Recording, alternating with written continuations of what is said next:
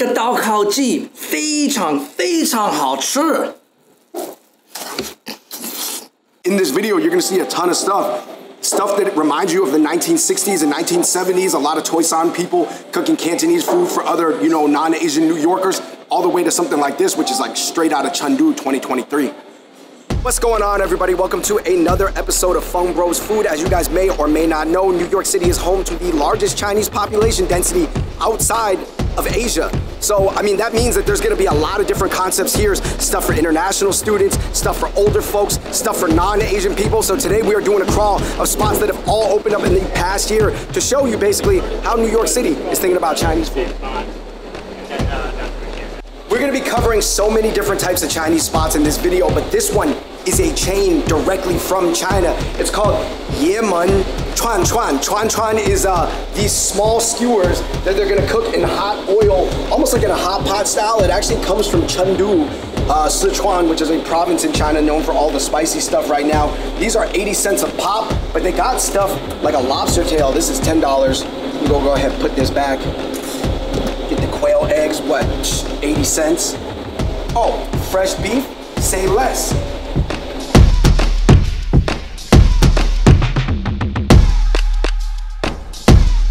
Okay, so now that I've chosen my little chuan chuans, right? Each of these is 80 cents, but I have to pay $15 for the uh, spicy Sichuan oil, so it can add up, but today, you know, I think it's gonna be worth it. 谢谢。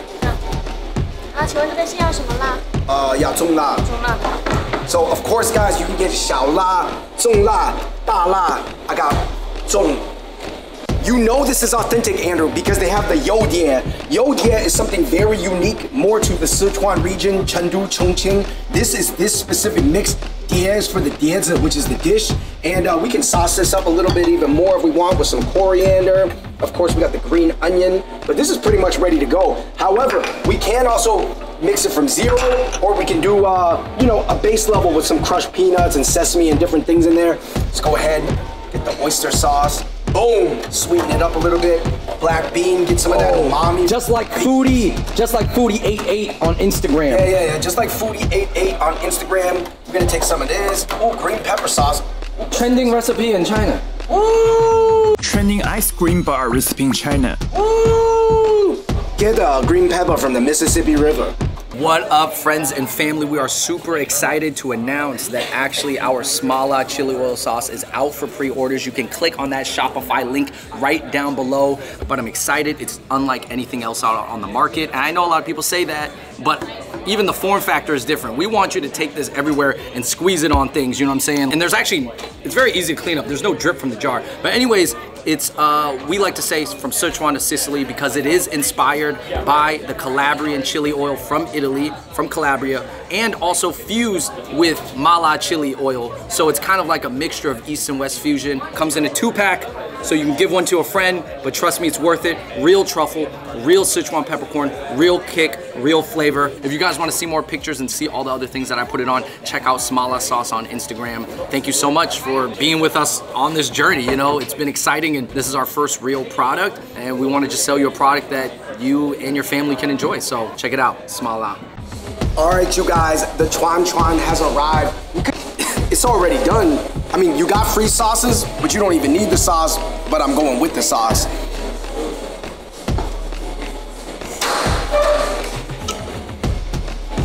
Yo, guys, I'm telling you, this is tasty, and I can see the labor of my work. Of, you know, not that I really did any work, but simply picking it out, man. I got my sweet potato here. I got beef, I got beef, I got more beef. I got the konjac noodle. I got a, this is a coriander wrapped in beef. Let's go in the yodian.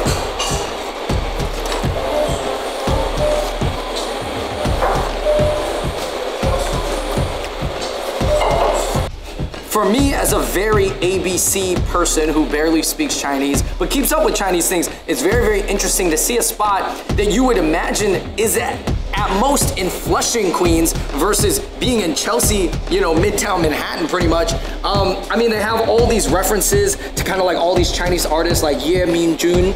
Um, that's like the Dongbei artist that is famous for making these figures with the big mouths. And there's actually very little English. In fact, there's no English on this menu at all whatsoever. So I think it's really interesting. Guys, these Chuan Chuan definitely remind me of the ones that we had over in Chengdu with the Higher Brothers a long time ago, years back. And it's funny because when you pick it out, it almost like looks like this bouquet of saucy, spicy meat.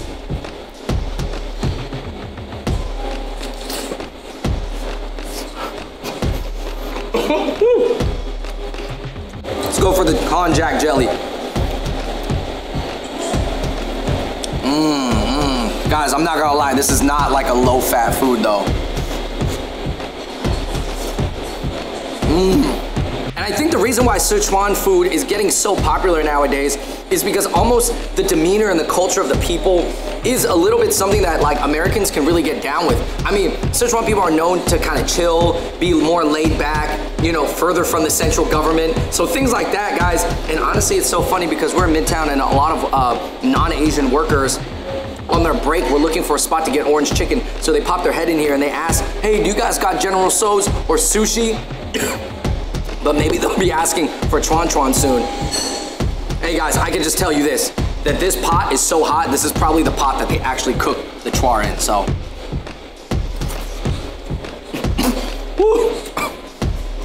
And it's spicy though. Be careful. On to the next spot.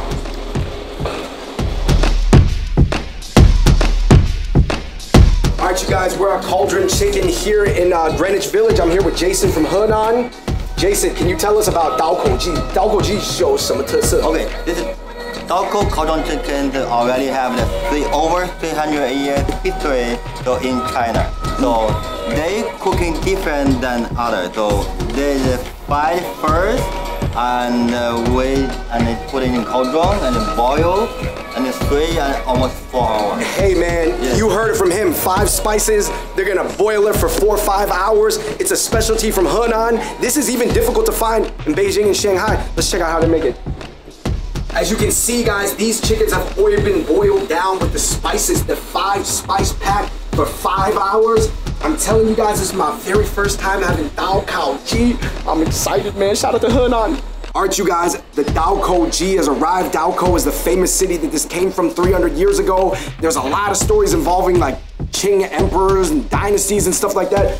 And uh, they said that you gotta shake this off. Normally, when the whole chicken comes, you gotta just shake the meat off the bones. We're gonna go ahead and dip it in some of this uh, powder right here, some of this sauce. This is my very first time having Daoko Ji. Good? Yeah. I know what they mean because it's supposed to taste fatty without tasting greasy. And that's a difficult like thing to describe, but you can feel it when you eat this. Of course, on the side, we got the scallion pancake, the tung bing. I'm gonna take some of this dako ji right here. Like we said, it is stewed in some precious medicinal soups. And I think that that is the key here of the dako ji. I heard this was actually one of China's first famous chicken dishes in history.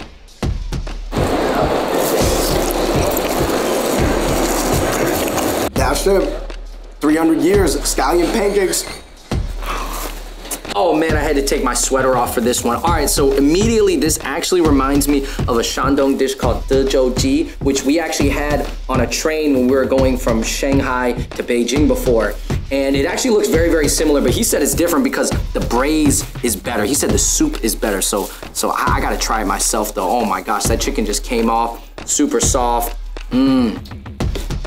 And one of my favorite things, my absolute favorite things about eating chicken like this, where it's all fried and braised and slow cooked, is that everything is edible. You can eat every part of this chicken. Even the little wingtips are tender.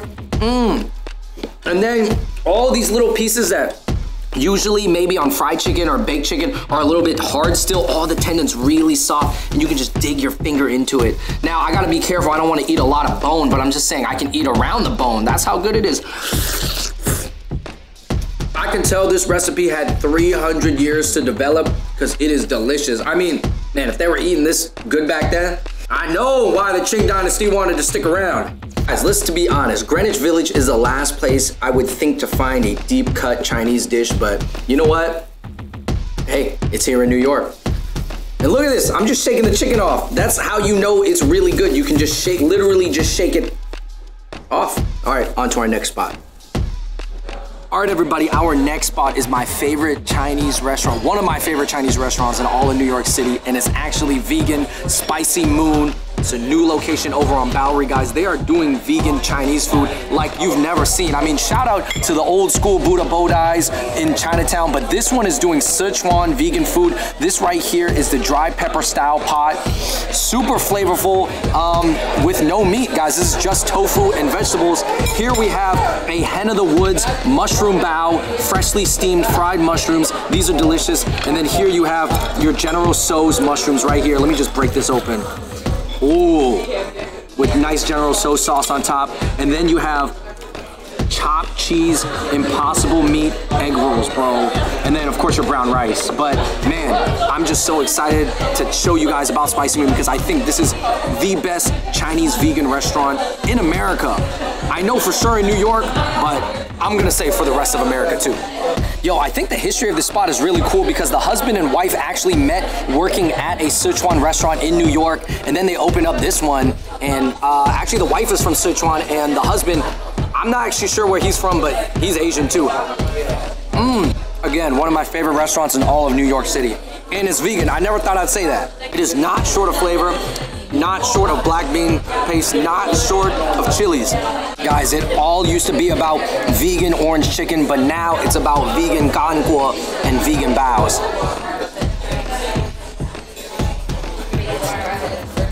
Have our mushroom General Tso's. I asked for extra sauce. Little lemon squeeze on top. Let's get it. Mmm. These were two different types of mushrooms, by the way. There's more white mushrooms.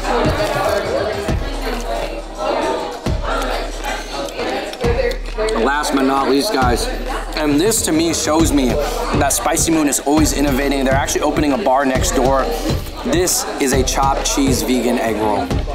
You guys know the the, the, the egg rolls from like uh, Cheesecake Factory. Everybody loves them, you know.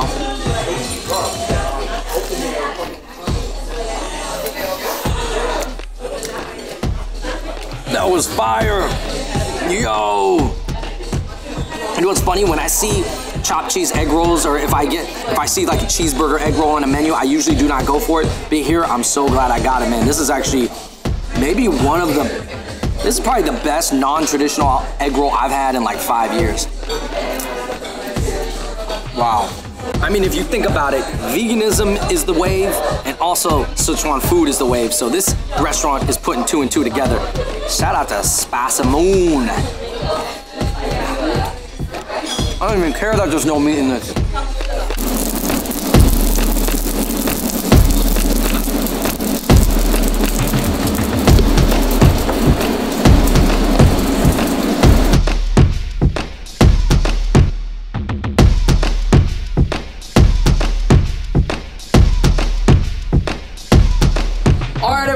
Next spot is Shanghai Villa out on West 4th. Uh, we're over in Greenwich kind of area. And this spot originally was a vegan Chinese spot, but they kind of changed the concept and they added a lot of traditional Shanghainese dishes, but also some very famous Chinese American dishes I want to show you guys. All right, David.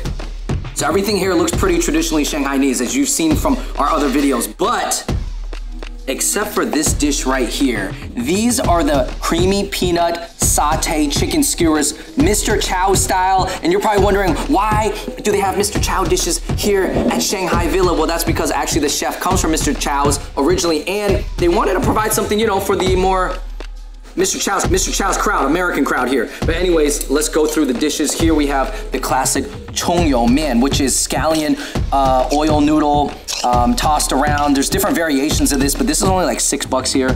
Here we have the Shanghai Huantan with Ji Tai. And uh, let me just break that open for you. I love this dish, man. And it's like, I can tell the soup is super savory and sweet. Okay, there we go, you little meat inside. Here we have the regular xiaolong bao, juicy. Oh, the, the, the soup is not coming out. That's a good sign. And then you have the classic Shanghai Xiao. Uh, obviously different than the, the southern Cantonese Xiao. Uh, this is all mostly rice. And then you have the Shengjian Bao, which is also another famous one, which is essentially a super thick soup dumpling that's fried on the bottom. First thing I gotta try is the peanut skewers. This is famous, like my uh, Dominican friend Marco, he loves this. He always talks about Mr. Chow's, Philippe Chow's. You know, this skewer is very iconic. It's red, it's creamy, and it's very sweet.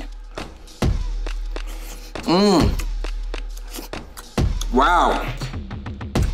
I've only had the Mr. Chow's version once, but it tastes just like it. Maybe this the skewer pieces are a little bit smaller. This is three for $10. This is like half the price though. Mmm. That sauce, it's tender, a little bit of spicy kick. I like it. This is your scallion oil noodle, and sometimes they put, uh, some people will put like shrimp in it and make it a danzai mian. But anyways, let me try it, because this is a very, very traditional Shanghai dish. Mmm, slippery, chewy, al dente, nice, smooth umami scallion oil. Salty, but not too salty. All right, moving on. You guys gotta try the Shanghai Wonton. And what I love here is that they're mixing kind of like very Americanized dishes with uh, very authentic Shanghai dishes. So probably, I don't know if the Mr. Chow's crowd is gonna be ordering this dish. Mmm. Mmm. 好吃，好吃。That's good. That's good. I I don't know, that's up there for the dishes. I gotta try the other ones, but oh man. All right, here, I have the Shengjian Bao. I'm gonna try it with some of the vinegar here. I know this isn't the best way to eat it. I'm just gonna eat it with my hand. But since there's probably hot juice in here, I gotta be careful.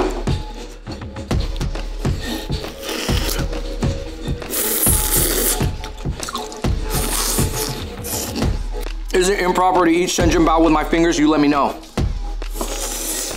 All right, as far as the Xiaolong Bao goes, or as I would try to say it in the Shanghai dialect, Sholobo. I tried, I tried, I tried. Judge it, guys. Uh, but yeah, let me dip it here. This is the pork one. Here I have the vegan ones here. I'm gonna try this because this originally was a vegan restaurant, but they just recently added a lot of meat dishes. So of course, you know, it has both.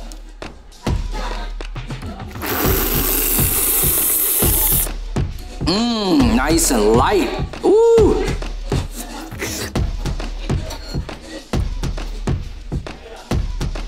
Like those a lot, not too fatty, really clean broth. Let me try the vegan ones. All right, and like, um, I'm gonna try to speak some more Shanghainese again.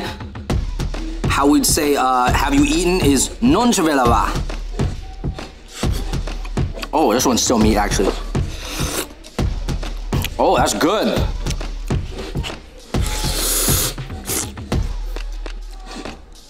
Okay, I'm gonna guess that this is the vegetarian one. There we go.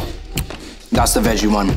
Let's try it, guys. Veggie Xiaolong Bao. I think this is the first vegetable Xiaolong Bao I've ever had.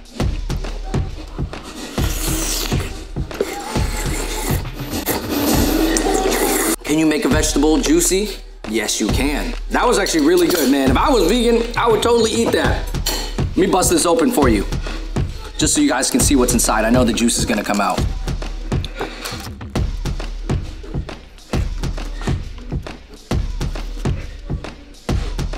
Oh, that's the meat, the little imitation meat right there.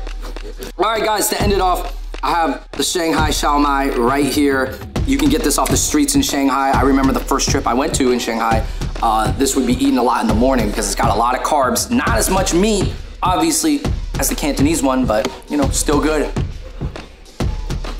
Mmm. I mean, guys, in my hand, I have a very traditional Shanghai dish, and then I have a very kind of new school Chinese American dish. Um, and I just think it's really cool that they can be served together here at Shanghai Villa over in the West Village. Um, you know, and, and on our channel, we'll always try to like say the phrase of the dialect that we're, we're eating. You know, I know like Shanghainese, you know, it's very hard to find someone who could speak it. So I definitely can't speak it, but let me just say, I don't know how to speak Shanghainese. All right, you guys judge it down below, but on to our next spot. All right, you guys, next up, just like Daoko Chicken, we've got a China concept that is a direct port over. We've got Ji Bei Chuan. This chain actually has 400 chains in China, and it was started by this Cantonese man named Ji, Mr. Ji, and uh, he traveled all over, and he sort of came up with his own ideas, mixing Cantonese food with Yunnan food and Sichuan food. This is what they ended up with. All right, you guys, let's take a look at the Mixian rice noodles that made Mr. Ji a very rich man. You know, we're talking about fish maw. This is the swim bladder from a larger fish like a sturgeon or some type of fish like that. Um, of course, that's the Cantonese side. You've got the Mixian, which is more of the Yunnan influences, but you're also looking at some Kou Shui Ji right here, which is from Sichuan. Uh, apparently, you know, just me reading the board, Mr. Ji was a very well-traveled man to the different provinces and regions of China. Let's get into it, guys. I'm super excited to get this. This is 1995. Okay, yeah, that's good. You got fish in there, you got chicken in there.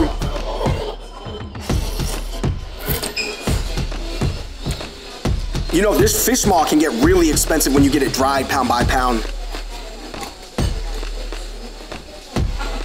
I'm telling you guys, this fish maw tastes almost like the fish equivalent of a foie gras from a duck. Uh, it's hard to describe. It's kind of like cheesy in texture almost.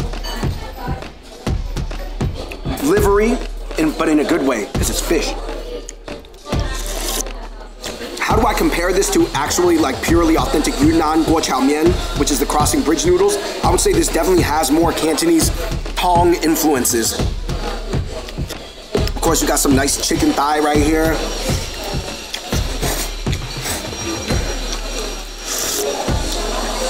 Listen, if you're an older Cantonese person above the age of like 40, you're gonna prefer this version to the Yunnan version because it's half Cantonese flavor. All right, everybody, I got the tomato soup flavored beef brisket one, and I can tell that this is Cantonese influence because look at this ao lam. It's kind of like the curly, shrivelly ones. I'm not gonna lie, this really reminds me of a Cantonese dish. Even the cuts of ao lam, AKA beef tendon, where it's in a way, I'm not gonna lie, like the ugly cuts, but honestly, it's something that I eh, often encounter at Cantonese restaurants, so I'm excited.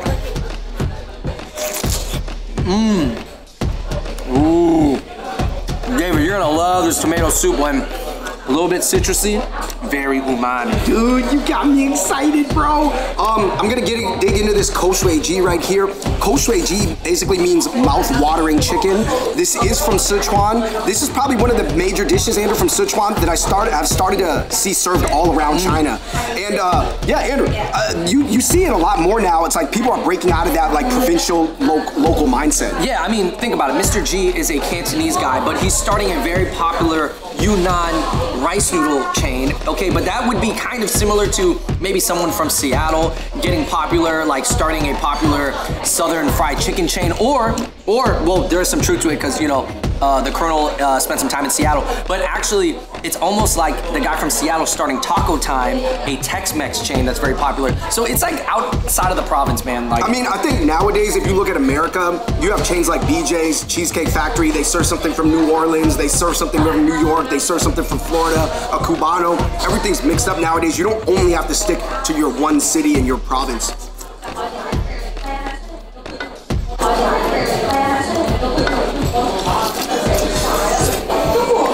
Beef and tomato.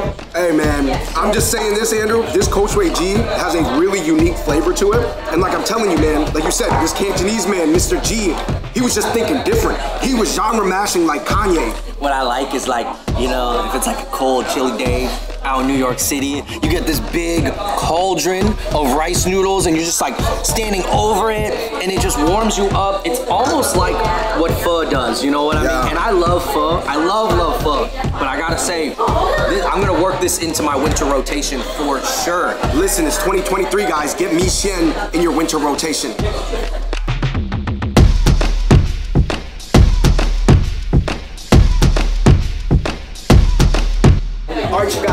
Next, next up on brand new Chinese concepts. This is not brand new. Actually, this is a redux of something from 1964, Wonton Noodle Garden that made it all the way from around the corner. They just have, have uh, had to have a rebirth here. But like we said, you are looking at recipes from the 60s, the 70s, the 80s, the 90s, and I'm telling you, there are so many different types of people right now. Just post up, and there's a lot of people here that were in their prime years in, in 1964. What we're looking at are a few things that I've never had before. This is rolled churng fun with uh, peanut sauce and hoisin on it. Literally, guys, you can see on the inside. It's a deep fried version of something that was rolled up. As you can see, this is not a rice cake akin to the Korean tteokbokki. This is literally a rolled up churng fun. Um, honestly, if they added some jelly to this, it would just be a PB&J. It might even go more viral amongst the Side Talk NYC crowd like we said, guys, you have some of your NYC Sino classics from the 1960s. If you've only eaten authentic Chinese food your whole life, you don't even know what you're looking at right now. This is a wonton wrapper folded once with some meat inside. You dip it in here. Very similar menu to Wo Hop. Hop, I believe, was from the 1950s or 60s as well.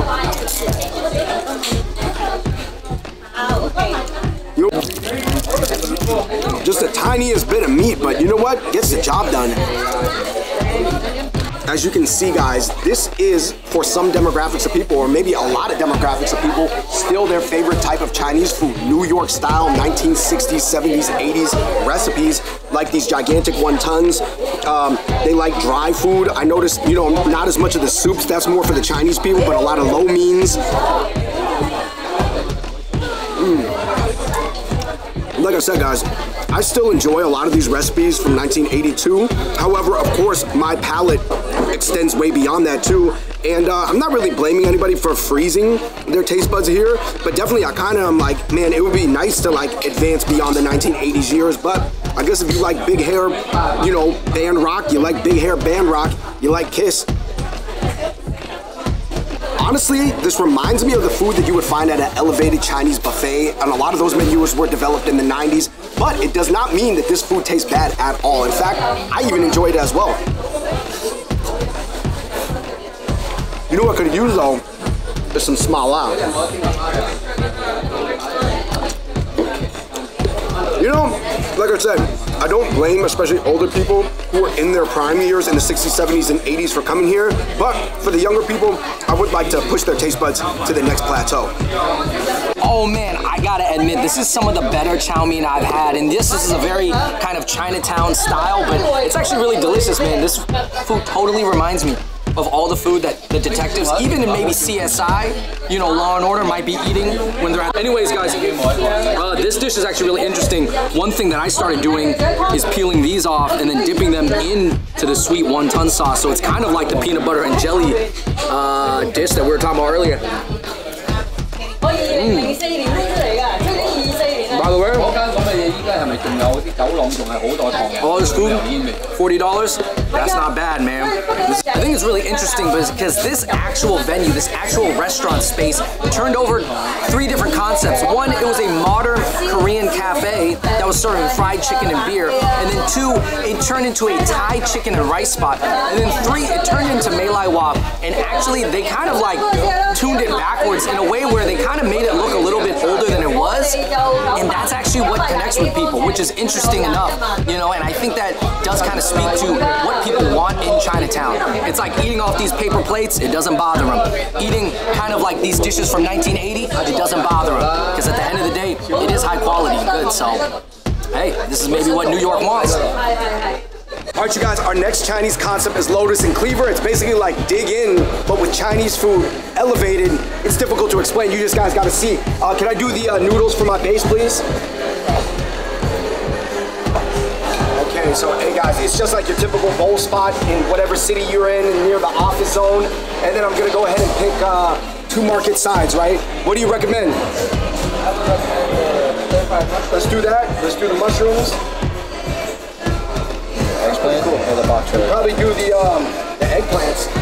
If you guys know eggplants are really popular in China because meat traditionally was very expensive, that uh, led to the popularity of eggplants because it kind of has a protein-like vibe to it. Um, can I do the uh, heritage pork siu? And definitely get a, can I get a lot of uh, green ginger scallion sauce on it? No problem. Now, I know a lot of people are like, oh, why are you putting uh, ginger scallion on the char siu? That's more for chicken, right? But that's just how I like it. Gurm chung everything.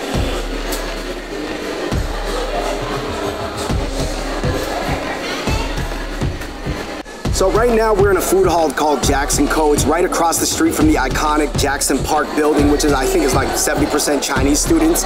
And we're in Long Island City right now.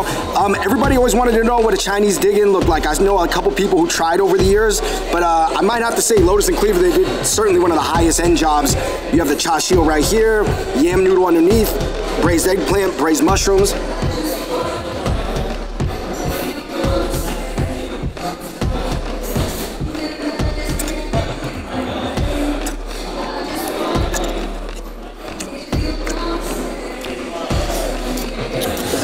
So it's very good. I would say the noodles taste more Pan Asian. The chashu tastes Chinese. The eggplant tastes Chinese but toned down a little bit. And here's the braised mushrooms.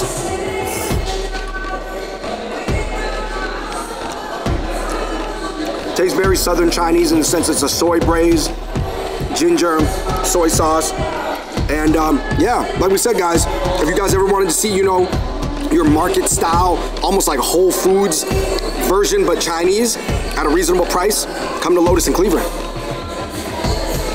All right, everybody, I am on 14th Street, and I gotta say this, man, it is starting to become very, very Asian. I mean, everything from Q Ramen to now Little Ulu to Party, and then a Panda Express just opened. Okay, obviously, you know, I still consider that Asian. I would almost consider 14th Street to become a little bit of a new Boba Avenue, should I say Poor Tea Street, because there's a lot of tea shops here. And right outside, that was a putt. Uh, I got Little Ulu, which is a pop-up right now. They have a window, and this is the sunny side up matcha latte. They have uh, sweet cream and then a little bit of mango jelly on top to make it look like a over easy egg. So it's crazy out here, man. This was $9.25. I'm not gonna lie, it is not cheap, but it is decadent and delicious and very cool, very Instagrammable. Let's check it out.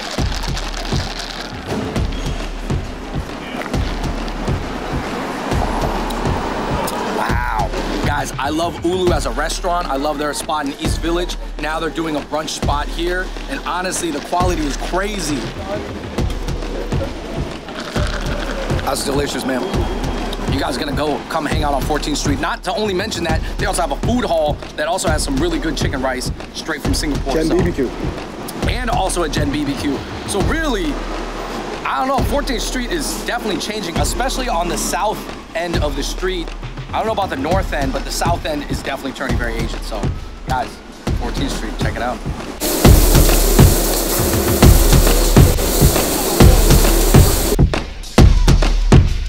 Our next new Chinese concept in Manhattan is Shorty Tang's, aka Tangy Noodle. This is actually the owner of Hua Yuan, which is a really nice Peking duck restaurant in Chinatown, but he's actually famous for his noodles. Um, his family went from Sichuan to Taiwan to NYC, so it's really a hybrid of a lot of things. As you can see, they have the Quan Mian here, which is the wide noodle uh, for the beef noodle soup, but you also have a gigantic beef spare rib in there, almost like people are doing like for modern day pho. We gotta taste the broth, aka the tongue. Ooh. Yeah, that's spicy. It's good. As you can see, we got the wide noodle here. This moved here from the upper east side, I believe.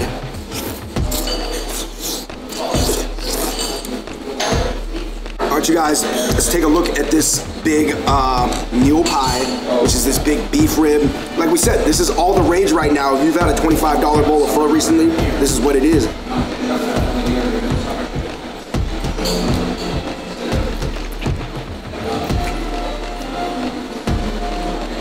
All right, you guys, this is $25, but honestly, this is one of the better bowls of New mian beef noodle soup in the city.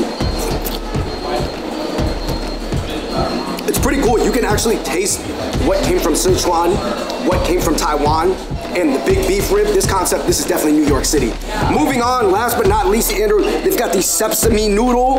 This is uh, the same dish that made Hua Yuan famous amongst all the politicians and everything like this. So we're gonna mix it up right here. This is a zhima mian. It's vegan. There is no meat in it. Just check it out.